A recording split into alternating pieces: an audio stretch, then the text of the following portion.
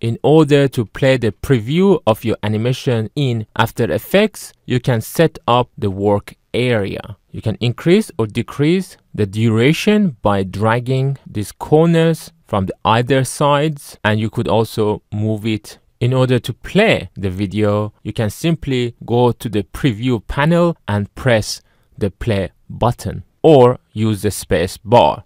If you don't see the preview panel in here, go to the window tab and turn on the preview panel. To be able to view all the options with regards to the preview, you need to expand this panel by dragging in here. Here you can change the range from work area to entire duration. And then if you play the preview, it might play the whole video or it might stop after playing a few seconds, even though you have specified for it to play the entire duration. This is because when After Effects play the preview, it uses up your computer's RAM. So if your computer doesn't have enough RAM, it would stop playing at the particular duration after using up your computer's RAM. This animation looks very simple, but it's a 4K video which means it would use a lot of RAM in a very short duration. Luckily, there is a way to fix this and the option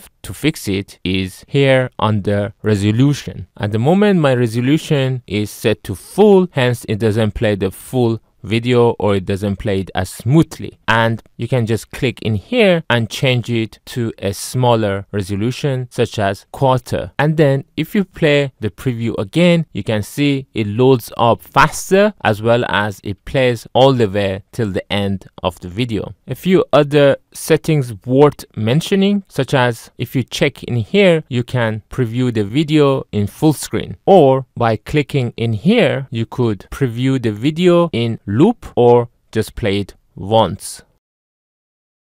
I hope this video was useful. If it was, please don't forget to watch my other videos on my left and to subscribe to support my channel. I hope to see you in my next video. Bye bye.